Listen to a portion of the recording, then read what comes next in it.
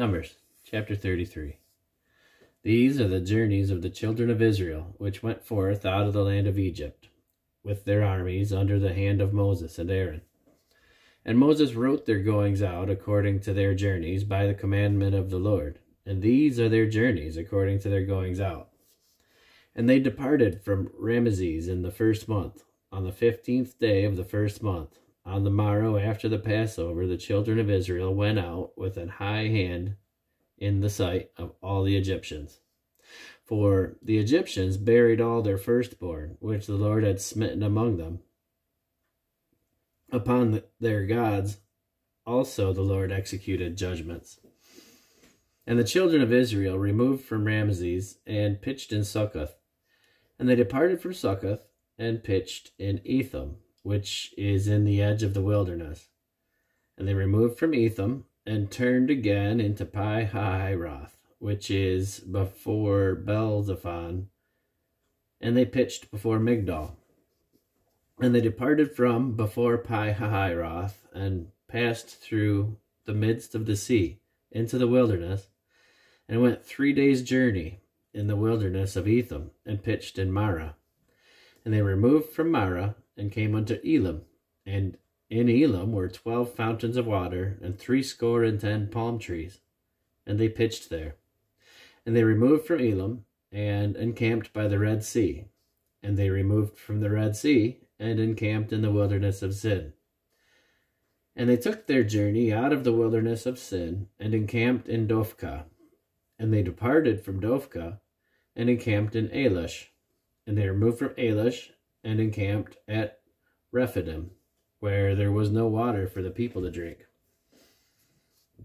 And they departed from Rephidim and pitched in the wilderness of Sinai. And they removed from the desert of Sinai and pitched at Kibroth Hattaavah. And they departed from Kibroth Hattaavah and encamped at Hazeroth. And they departed from Hazeroth and pitched at Rithmah. And they departed from Rithmah and pitched at Rimmon Perez. And they departed from Rimmon Perez and pitched in Libnah. And they removed from Libnah and pitched at Rissah. And they journeyed from Rissah and pitched at Kehelatha. And they went from Kehelatha and pitched in Mount Shapher. And they removed from Mount Shapher and encamped at Haradah. And they removed from Haradah and pitched in Makheloth. And they removed from Makheloth and encamped in Tahath. And they departed from Tahath and pitched at Tara. And they removed from Tara and pitched at Mithkah. And they went from Mithkah and pitched in Hashmonah. And they departed from Hashmonah and encamped at Moseroth. And they departed from Moseroth and pitched at Benejaakan. And they removed from Benejaakan and encamped at Hor Hagadad. Excuse me, Hor Hagadgad. And they went from Hor Hagadgad and pitched at Jotbatha. And they removed from Jotbatha and encamped at Abrona.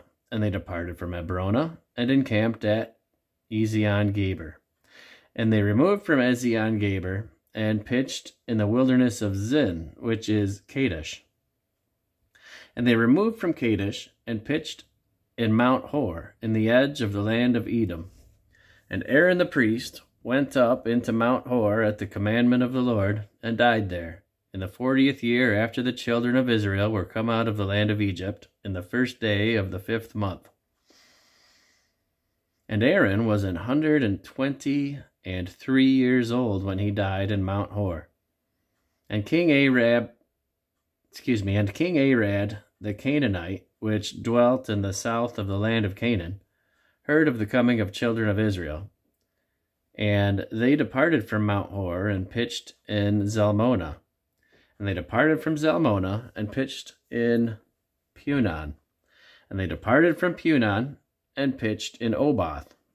And they departed from Oboth and pitched in Ijah-abarim on the border of Moab. And they departed from Iam and pitched in Dibon Gad. And they removed from Dibon Gad and encamped in Almon Diblathaim. And they removed from Almon Diblathaim and pitched in the mountains of Abarim before Nebo. And they departed from the mountains of Abarim and pitched in the plains of Moab by Jordan over Jericho, or excuse me, by Jordan near Jericho. And they pitched by Jordan from Beth Jeshimosh. Excuse me, and they pitched from, by Jordan by Beth Jeshimoth, even unto Abel Shittim in the plains of Moab. And the Lord spake unto Moses in the plains of Moab by Jordan near Jericho, saying, Speak unto the children of Israel, and say unto them, When ye are passed over Jordan into the land of Canaan, then shall ye drive out all the inhabitants of the land from before you, and destroy all their pictures, and destroy all their molten images, and quite pluck down all their high places. And ye shall dispossess the inhabitants of the land, and dwell therein, for I have given you the land to possess it. And ye shall divide the land by lot for an inheritance among your families.